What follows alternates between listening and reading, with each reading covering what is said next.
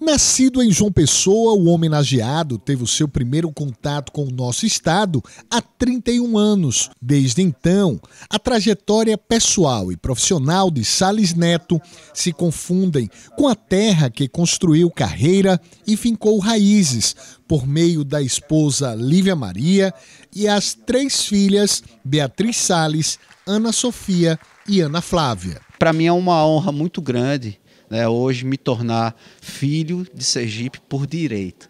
De fato, eu já me considerava, o meu coração já considerava filho de Sergipe, mas agora eu posso dizer com todas as letras e tenho orgulho de dizer que sou sergipano.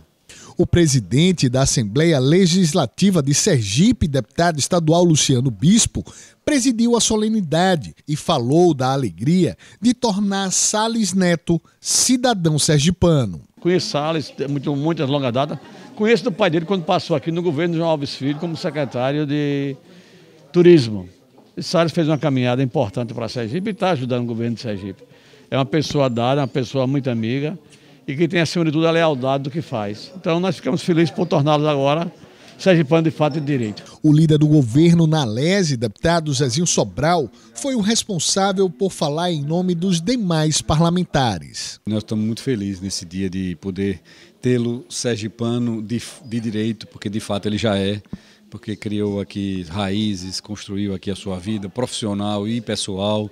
E é uma felicidade muito grande estar aqui nesse momento para acompanhar esse, essa entrega merecidíssima do título cidadão sergipano. Vários deputados acompanharam a entrega do título e fizeram questão de parabenizar Salles Neto. Tem demonstrado ao Estado um grande trabalho, né? exerce um trabalho profissional excelente, é um dos grandes assessores que Belivaldo tem hoje no seu governo, então a gente só tem que parabenizar. Parabenizar ele por todo o trabalho que ele já fez aqui no estado de Sergipe, que ele vem fazendo aqui no estado de Sergipe e hoje como sergipano de fato. Salles vem se destacando ao longo desses últimos anos né, como secretário né, de Estado, já, já ocupou várias pastas. E esse momento mais reconhecido né, por, pelo grande trabalho né, que ele vem fazendo, principalmente agora na, no turismo, né, que nessa, nessa, nessa crise da pandemia ficou bem afetada, mas ele soube trabalhar juntamente com o governo do Estado. Essa homenagem é justa e não poderia eu de, de estar aqui na Casa Legislativa para prestar essa homenagem ao amigo Salles Neto. Para o presidente do Tribunal de Justiça de Sergipe, o desembargador Edson Ulisses, o título representa o reconhecimento do serviço prestado por Salles ao Estado de Sergipe. Sergipe reconhece os valores, a contribuição que Salas tem dado ao Estado de Sergipe, profissional competente que, por certo, honrará a paternidade e hora recebida.